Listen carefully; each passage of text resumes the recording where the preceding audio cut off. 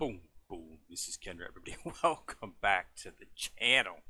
All right, got a bit of Bleach Immortal Soul up today. So we're going to do something a little bit different today. Uh, as a lot of people noticed, I completed Halloween Nemu um, over the over the past event. You know, through the Bur, uh, Burn the Witch event, I managed to get the time tokens that was needed to actually get her weapon. And, and, I also managed to bring her up to five stars. She was originally four star. So anyway, I have now introduced her into my main team. She is now oh the fled. She's now the the uh, basically the sixth member of the team now. Uh, I've replaced um, uh, Full Hollow Ichigo, uh, taken him out, uh, and put her in his place. So we've now got uh, the back line is uh, Tensa Zangetsu, Dangai, Ichigo, White Ichigo. Frontline is Zazie for his revive, Iroquois for the shield, and then Nemu for basically killing everybody. Um, so that's the current, uh, you know, staple of the team. And as you can see, I've got her up to five star. I do have her broom because I got the broom in the last event. So we just need to go through and do a few things. I need to uh, uh, pop around on her. So let's go ahead and talk. So uh, everybody noticing that wanted to know about the Nemu story, I guess. so I'll go ahead and give you the Halloween Nemu story and what happened with the character and why she is the way she is now. Okay, so now uh, Nemu was the first Halloween character that Bleach came out with uh, for the Halloween event. It happened shortly after the Travel uh, Halibel event. Um, it, it for me at the point I was extremely depressed. I got like 34 out of the 70 shards that was needed for Travel Halibel, so of course did not get her. I was not going to utilize her. Don't get me wrong. Uh, I just like to try to get the event characters when they come out, just so I have them in case uh, in the future do want to enter them into the team. But I had no plans to use her. But I was still being depressed because it went really bad for me. I got virtually nothing out of that event. I mean, I walked away with a big eggshell. So it was uh, uncool. And then the Halloween event came out uh, for Halloween Nemu. Um, it was a pretty nice event. I mean, it was a standard. It was really a. You could tell it, they'd taken a little bit of time to actually make some levels. You had levels where you would jump through um, a graveyard, you know, open up the tombstones to get rewards, and you know, like a little maze type thing. So it was fun. You know, ha- had a good time doing it. Uh, but I, I, got exceedingly lucky, guys, on the draws. I mean, I was like banging fives and tens on each draw. Uh, so when the event was finally over, I had just enough to actually get the character. So I got Nemu. Nowhere near her broom, of course, but uh, I did get her, and I got some time tokens uh, for the shop as well. So it was a really, really, really good event, and it restored my faith in the game because I was really depressed after the Travel Halibel event. I was like thinking about like, man, do I want to continue going with this? Uh, you know how it was. You know how it is when you've had a really, really bad luck over a course of like a seven, uh, two weeks almost. So, uh, no, so I got Halloween now. So I was really happy. Um, of course, at the time, uh, she was broken she was not broken. That's what everybody was saying. Now, I'm going to tell you what I was told by several of uh, uh, people that I talked to. Uh, these the guys that I spoke to are basically whales. These are the guys who spent the like 50 to 60 bucks that it takes to guarantee to get the character and guaranteed to get th- that character's a weapon out of the store for awakening uh, in all of the events. So th- they basically spend like 50. That's usually what it takes. Is roughly between 50 to 60 dollars um, uh, to get both the character and the weapon. Uh, not the free one, of course. The free one everybody gets, but I mean they go for the character that's what we consider the buy character, and it usually takes between fifty to sixty dollars to get the character and its weapon. Uh, so they had, you know, they loved Nemu, so they were like on this instantly, Halloween Nemu, uh, because of the cool outfit and everything. Uh, so they had gotten her, and they basically told me um, it was a meh uh, basically her rage skill was basically they termed it as a miss skill. It just didn't work very well. Um, but it wasn't broken. It just functioned exactly like it said. And if you look at the skill inside of uh, the actual the skill that uh, I always say I don't know why she does all this damage. It's a mystery. It's not. It's Witch's Contract is the skill. Um, it's what happens on her rage skill. Uh, it's called Witch's Contract.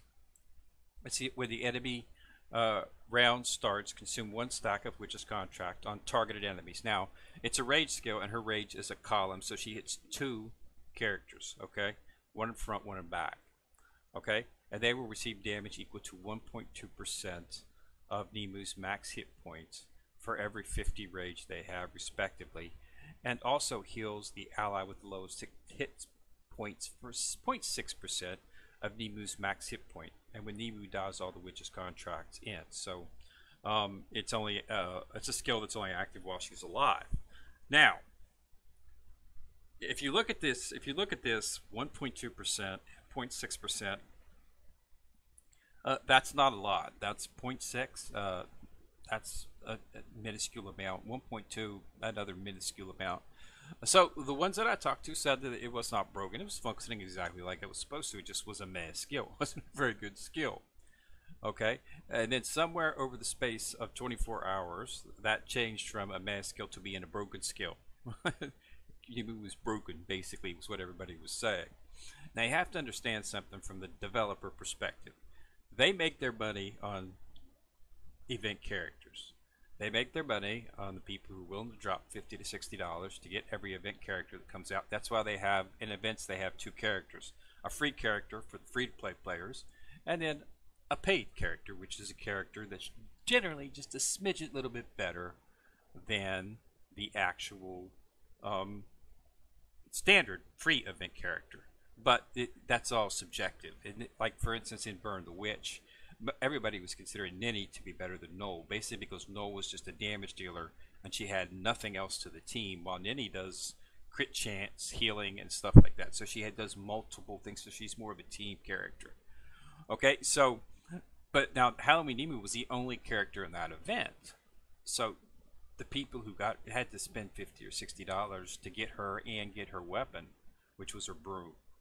Uh, so the devs are like, you know, in a state of panic because this is how they make their money. If, if people aren't going to be spending money to get their characters, then they're, you know, this game's going to dry up.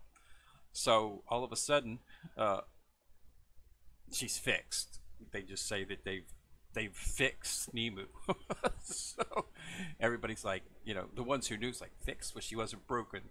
So they assumed that they had changed the skills. When they went in and looked and they hadn't changed the skills, everything still said exactly what it said before.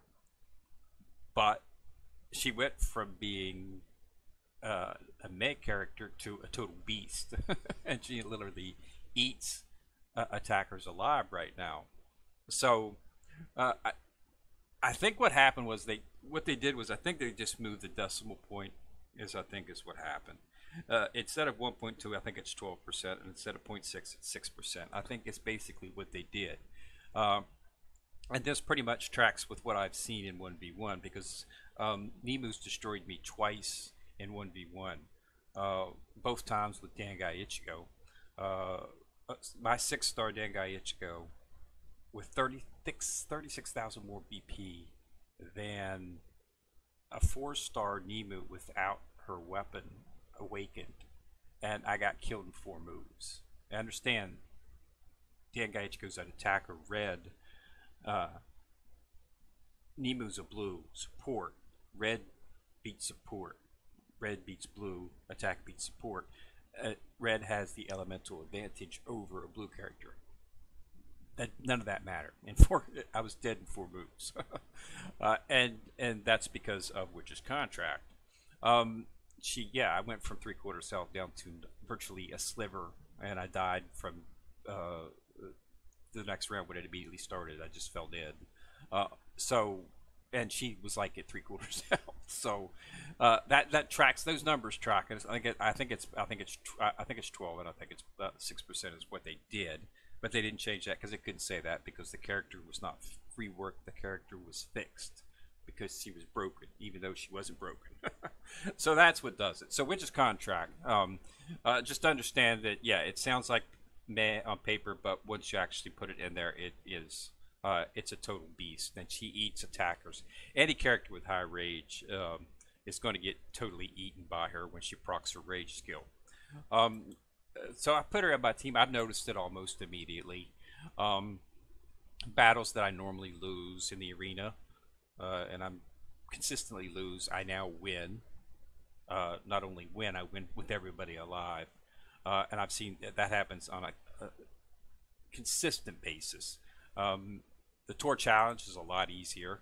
Uh, ever since I put her on my team two days ago, I've uh, usually the tour goes for me. You have five chances. Um, I usually have to use two or three of my refreshes because where I'm at right now, uh, I'm above the mid-level characters. I'm right. I'm right in between high level and upper high upper mid-level. Uh, I'm in that area there, that little gray area where you're not quite strong enough to beat the super high power characters, uh, but you're beating everybody else. But I, am sort of recognized in the tier as a super high character, so I'm going up against super characters all the time. Uh, they're actually the ones I killed who are above me in power. Is usually what I'm facing, and I I, I usually have probably I, I, more than half the time I end up losing. So I usually end up having to use a couple of my uh, refreshes on this. Well, ever since I put her on my team, I've been up against, going up against those same people, and I have not had to use any refreshes. I've been able to shoot through them straight, won them all. Okay, so that's how much of a difference it's made. So I am much stronger.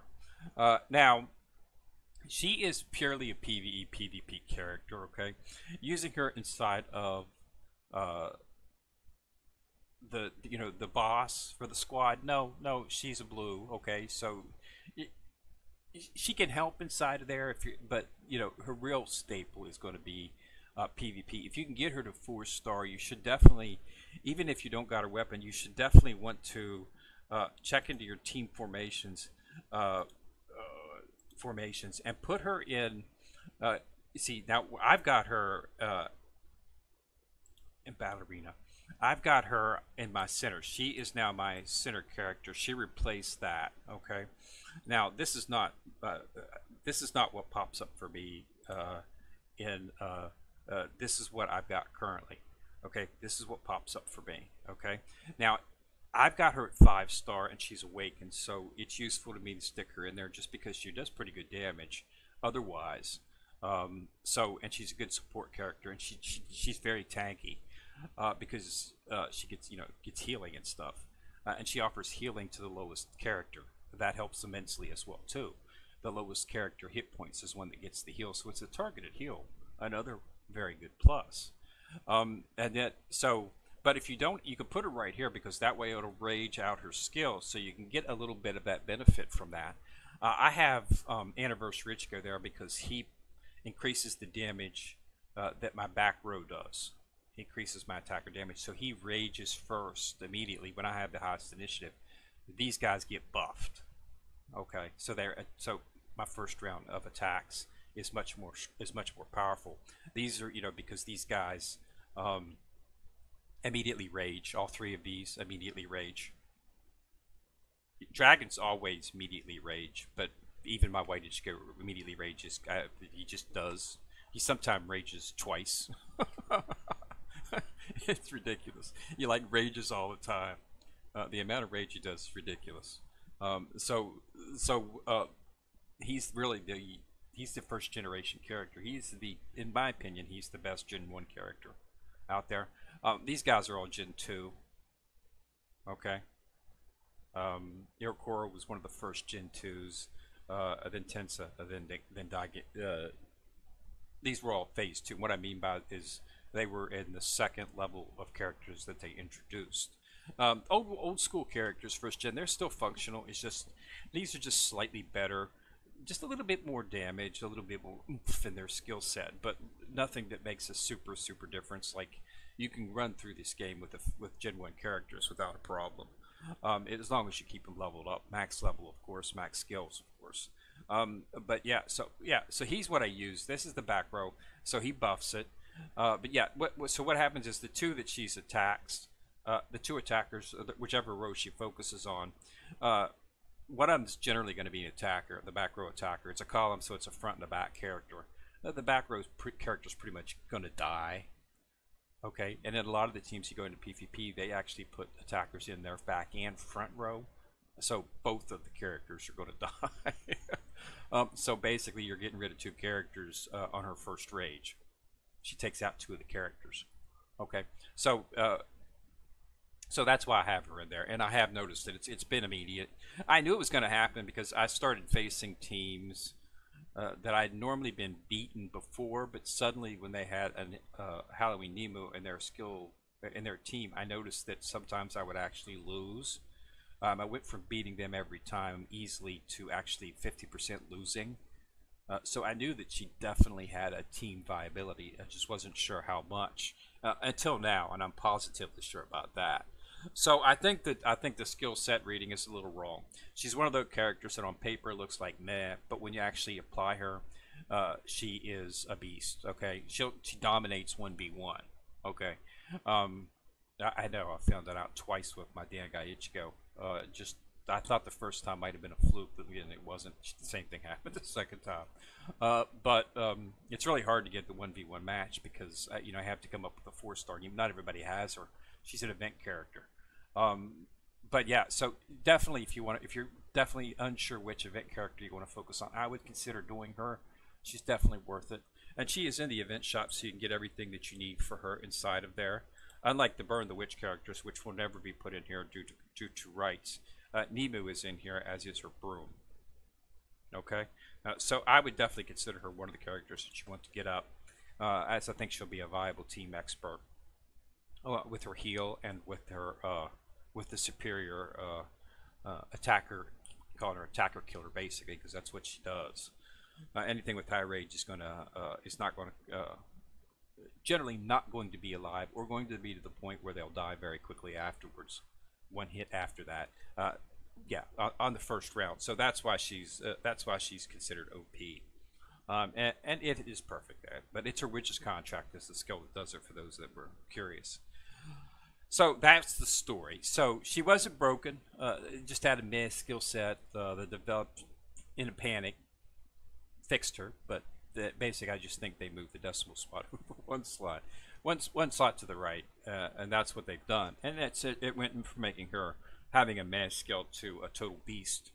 Um, but she's, you know, she's an event character, so we expect event characters to be better than regular characters. That's why they pay money for them.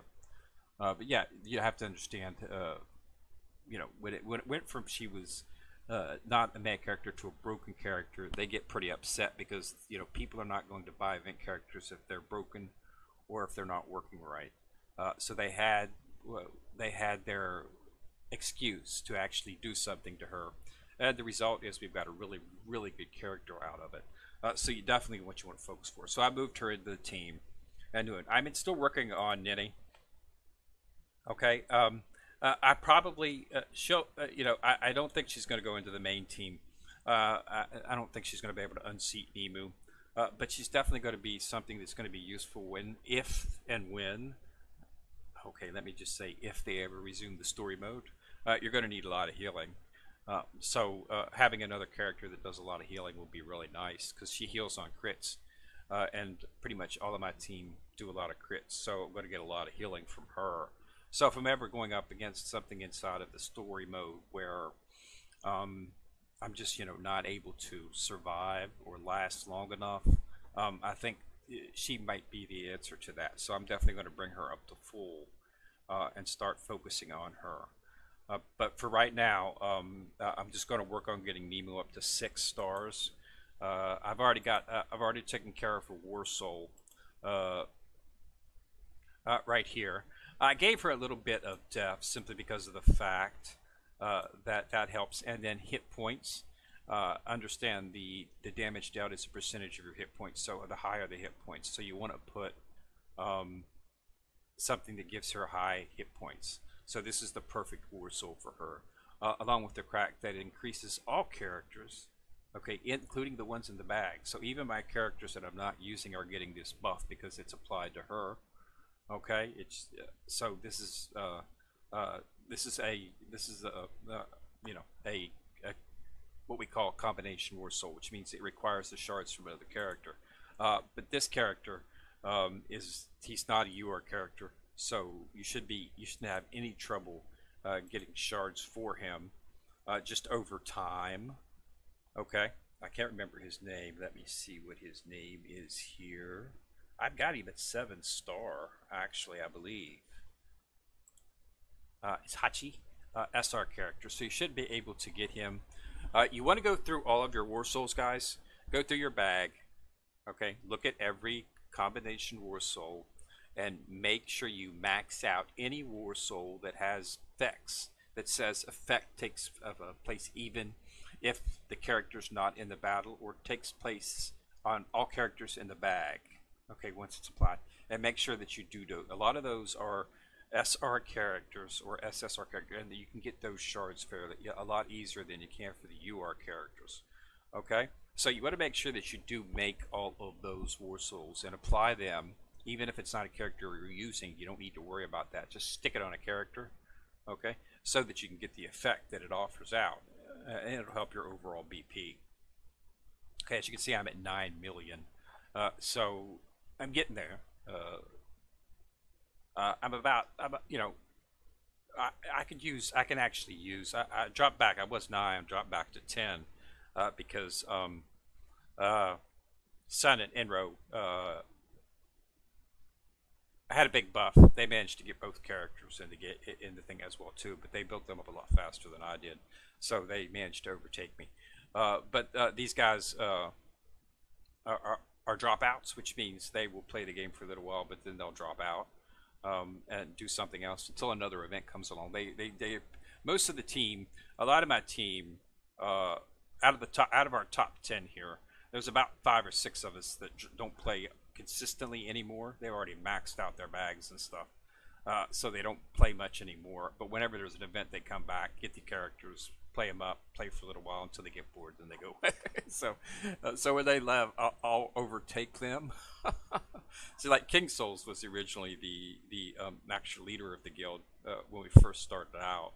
Uh, an executioner was second. Uh, was like up in one, two, or three. And as you can see, all of these guys, um, uh, you know, they they maxed out their characters and went all the way up. Uh, uh, Mookie still plays all the time. I speak to quite uh, Okada still plays all the time. Uh, and Separate plays all the time as well too. Elzrelic like plays off and on a little bit, but yeah. So these are these are high level characters.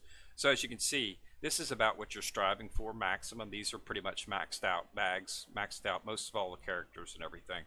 Uh, so this is what you're looking for. So 1.2 million is the the max limit. That's what you're that's what you're you're looking for in terms of uh, that. I have a high level guild. I mean, I'm we're on server 100, so we're like people on this. We we we played when it. I we started the inception of the game when it first came out, so we've been playing ever since then. Uh, so that's why we're a lot higher, you know, uh, in terms of what we get for our things. So so that's what you're striving for. Uh, you know, one million would be what you want to look for in terms that that means that you should have a pretty much high level team uh, and you should be able to do you know complete with most of the uh, the guilds out there. They were, all talking about cross server events and stuff. None of that has actually materialized.